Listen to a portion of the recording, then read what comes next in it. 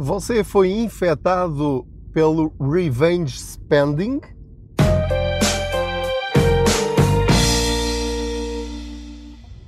Olá, eu sou o Pedro Anderson, jornalista especializado em finanças pessoais e aproveito as minhas viagens de carro para falar consigo sobre dinheiro. Por isso não ligo aos barulhos do carro, isto é perfeitamente normal. Revenge spending. Bom, se percebe inglês, já ficou com uma ideia, mais ou menos, do que é que eu quero dizer com esta expressão. Se não percebe inglês, a tradução, enfim, mais simples, mais uh, direta para esta expressão, revenge spending, revenge é vingança, spending é consumo ou gastos. Portanto, será qualquer coisa como a vingança do consumo. E perguntava eu, se bem se recorda, se você foi infectado pelo revenge spending, se foi infectado pela vingança do consumo.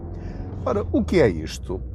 O revenge spending é um fenómeno comportamental explicado pela psicologia que se refere a um comportamento normal no ser humano em que depois de um período de grande privação, assim que você tem a oportunidade de voltar a fazer aquilo que fazia antes desse período de privação, faz mas de uma forma exagerada e desregrada.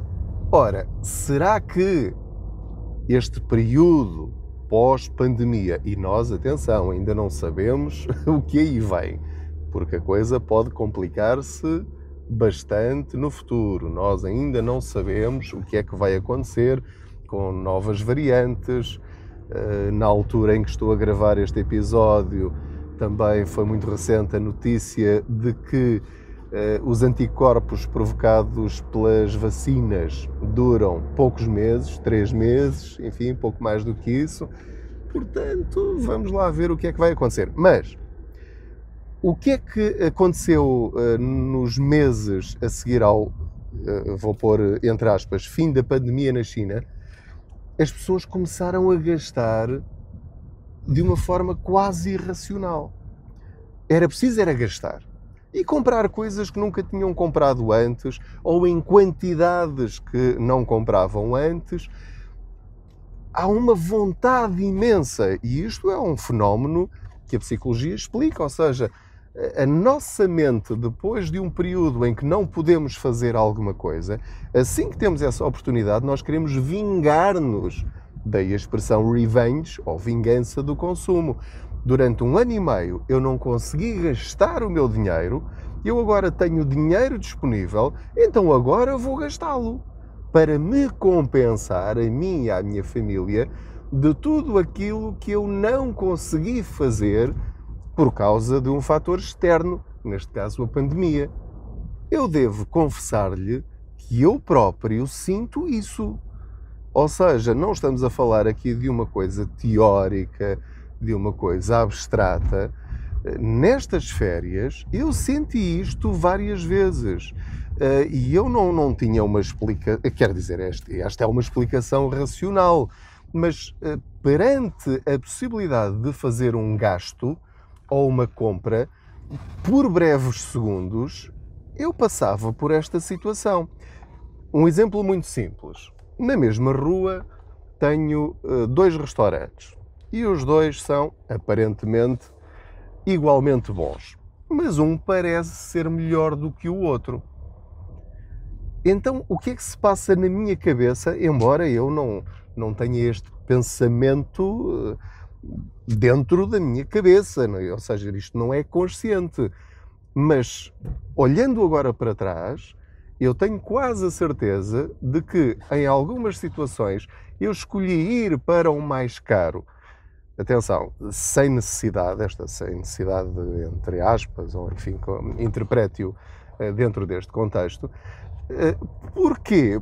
Porque posso, porque eu mereço, porque como não fui nas férias passadas para lado nenhum no ano anterior, por causa da pandemia, eu agora tenho o direito de me compensar por um luxo maior ou por algo que eu não faria habitualmente como vingança.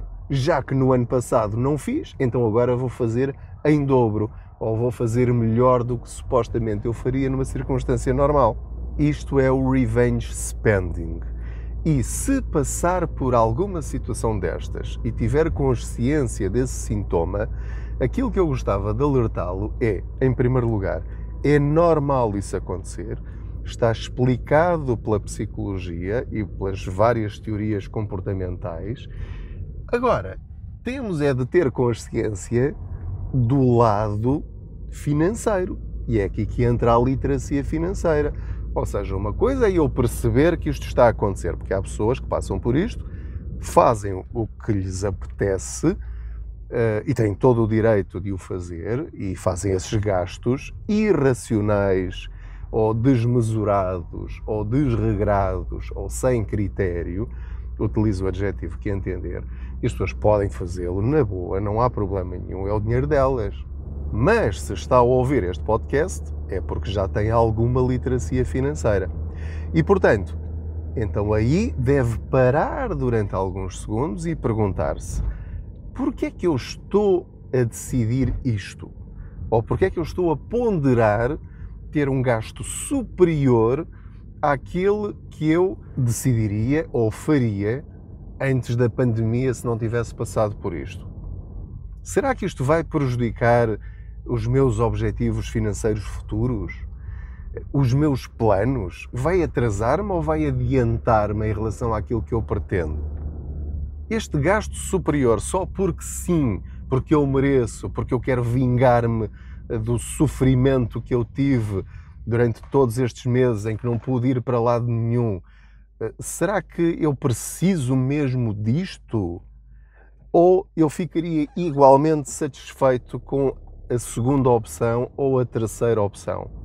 Eu tenho este gasto orçamentado?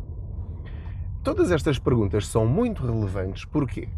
Porque, como explicam os especialistas, o nosso cérebro quer vingar-se porquê? Porque aparentemente nós até estamos mais ricos. Ou seja, aquilo que nós conseguimos poupar, aquilo que nós agora temos na nossa conta bancária, e atenção, eu estou a falar obviamente das famílias que mantiveram os seus rendimentos ou até que os aumentaram durante a pandemia. Esta conversa não se aplica às pessoas e famílias que ainda têm cortes brutais nos seus rendimentos porque ainda não conseguiram voltar a trabalhar ou nos negócios que têm eh, ainda não voltaram à faturação que tinham anteriormente. Portanto, temos de, de, de, analisar isto que eu estou a dizer dentro deste contexto.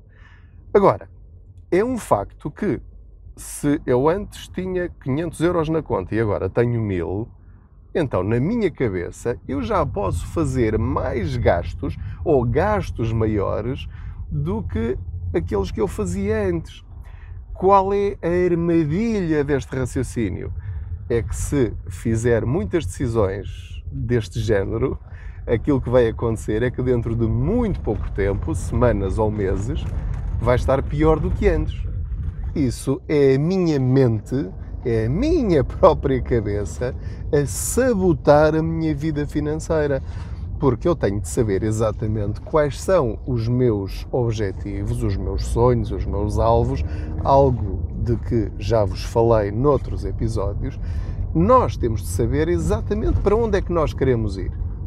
E, sabendo isso, depois é mais fácil estarmos atentos a estes sintomas deste outro vírus, que é um vírus financeiro, que nos quer vamos lá ver, não é obrigar, é que nos faz desejar gastar mais do que aquilo que deveríamos ou a querer viver um patamar acima daquilo que nós devemos viver eh, fazendo as nossas próprias contas, porque isto depende, obviamente, dos rendimentos de cada um. Este fenómeno, a vingança do consumo ou revenge spending, é algo que historicamente hum, já foi estudado ou já foi verificado noutras circunstâncias. Por exemplo, agora, mais recentemente, já está a acontecer na China, ou seja, eles já aparentemente passaram a fase grave da pandemia, portanto lá as pessoas já estão a ter uma vida relativamente normal e, portanto, o que é que estão a fazer? Estão a gastar muito mais do que gastavam antes e em coisas em que não gastavam dinheiro antes ou gastavam menos. Normalmente produtos de luxo, ou experiências, ou enfim, eu não, não, sei exatamente como é que funciona na sociedade chinesa, mas quem tem se calhar mais possibilidades financeiras, e já há pessoas muito ricas na China, provavelmente estão uh, a passar por, na classe média, vá, porque os ricos sempre puderam gastar, sempre puderam gastar uh, aquilo que muito bem entendiam. Mas, uh, por exemplo, pelo que eu li na internet, quando pesquisei um pouco este assunto, este fenómeno também foi verificado quando caiu o muro de Berlim e as pessoas que viviam do lado de lado do muro tiveram acesso a muitos produtos do lado de cá que antes nem sequer conheciam ou não tinham acesso, eram demasiado caros, de repente passaram a ter acesso aos produtos e acesso também a uma vida financeira melhor e, portanto, aproveitaram, vingaram-se de anos, de décadas de privação, gastando. Foi uma forma de celebrar. Também, isto não faz parte da nossa memória, só faz parte da nossa memória histórica, Todos nós já ouvimos falar dos loucos anos 20, depois da Grande Depressão, com o uh, crescimento da economia outra vez, as pessoas, enfim, quiseram festejar o fim da Grande Depressão.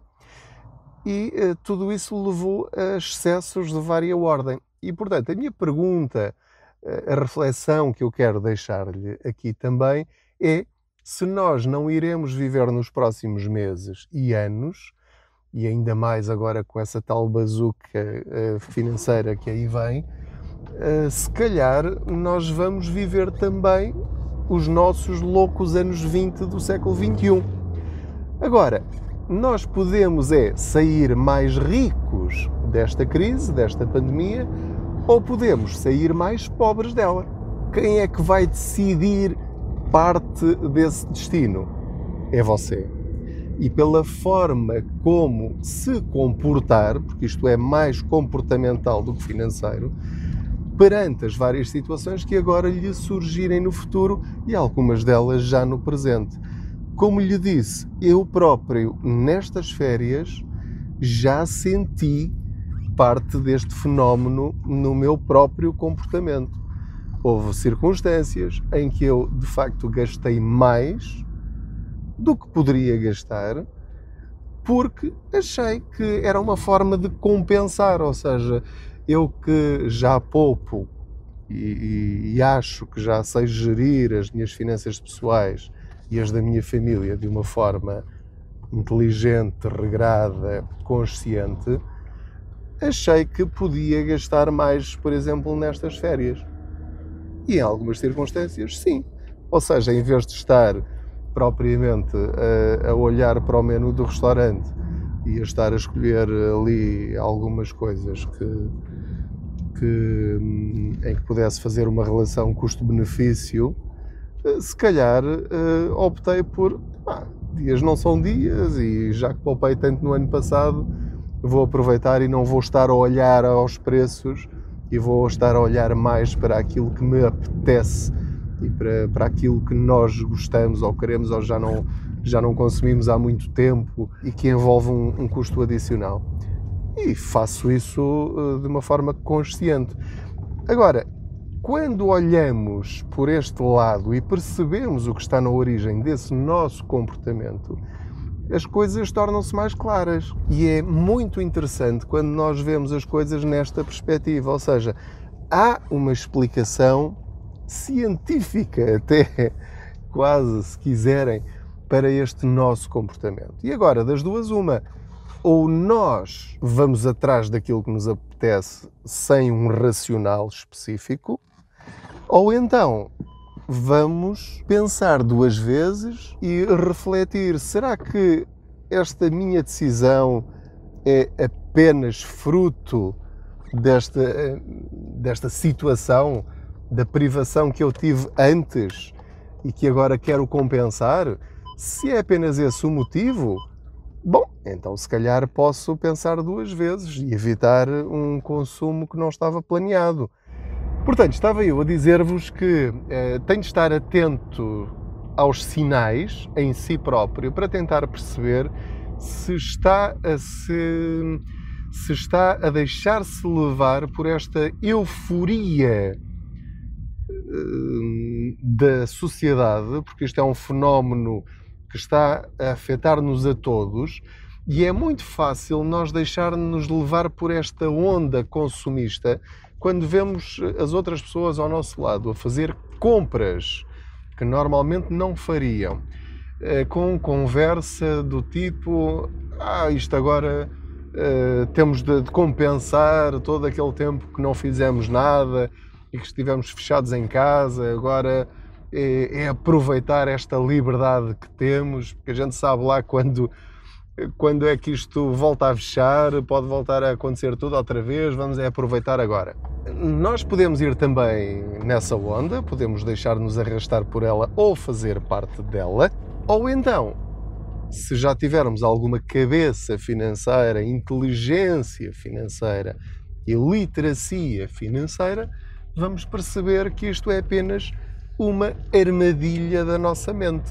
Porque uh, esta atitude de vingança consumista só nos vai desviar dos nossos objetivos principais e eu espero que você já tenha os seus, que tenha pelo menos alguns. E basta pensar nisso. Como é que é? É mesmo isto que eu quero? Ou é apenas um desejo passageiro e daqui a 15 dias já não vou lembrar disto? Como é que eu lido com isto se eu sentir que estou a ir por esse caminho e não quiser ir por esse caminho? simples. É voltarmos aos bons hábitos que tínhamos antes da pandemia. E eu espero que você já os tivesse. Se não os tinha, então é uma boa altura para começar nesta fase boa em que tem algum rendimento disponível e alguma poupança também para começar a brincar, entre aspas, com o seu dinheiro no bom sentido. De que bons hábitos é que estou a falar? Estou a falar em agarrar-se ao seu orçamento mensal, ou seja, saber exatamente onde gasta e com que dinheiro, tem de ter uma lista das coisas que deseja e que quer mesmo comprar e não comprar por impulso porque pode, e espero que neste momento possa, mas que não ceda a esse impulso comparar, comparar, comparar, renegociar, ou neste caso negociar, essa compra desse bem ou serviço que pretende, não ir atrás do primeiro preço que lhe põem à frente ou a primeira proposta, porque lá está, o que é que o seu cérebro lhe vai dizer? Porque é que vai estar agora com o trabalho de estar a pesquisar no mercado e a atrasar mais esse teu desejo, se tu neste momento tens dinheiro disponível na conta para comprar já. Pode fazê-lo. Só que depois, esse dinheiro que está a pagar a mais em relação àquilo que poderia pagar exatamente pelo mesmo produto ou serviço, é dinheiro que lhe vai fazer falta mais à frente para outros desejos ou necessidades que tenha.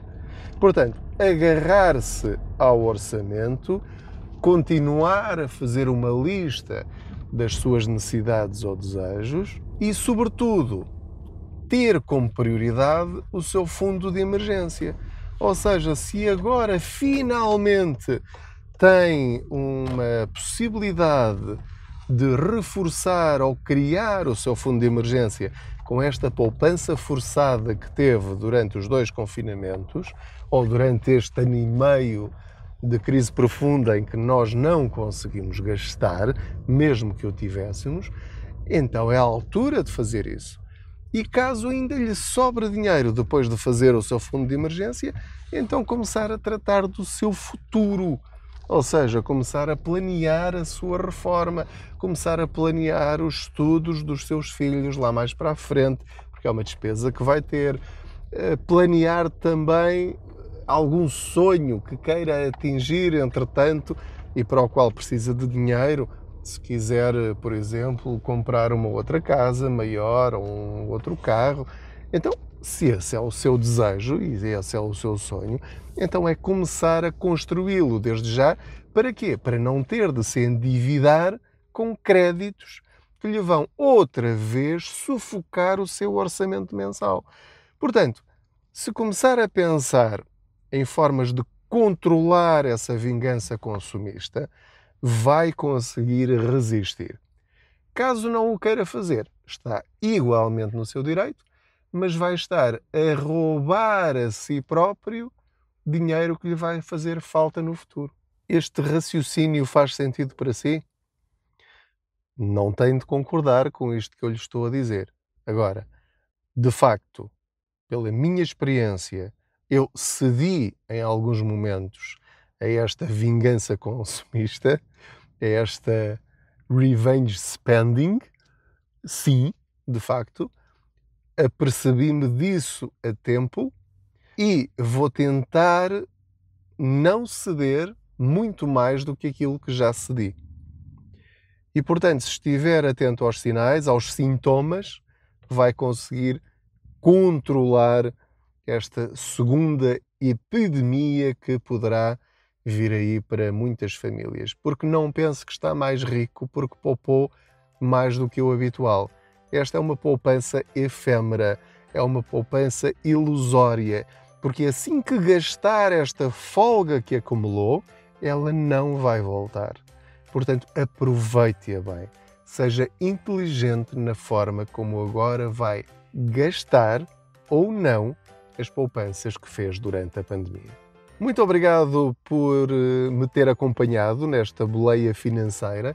Entretanto, já cheguei aqui ao meu destino. Não se esqueça de subscrever este podcast para ser avisado cada vez que houver um episódio novo.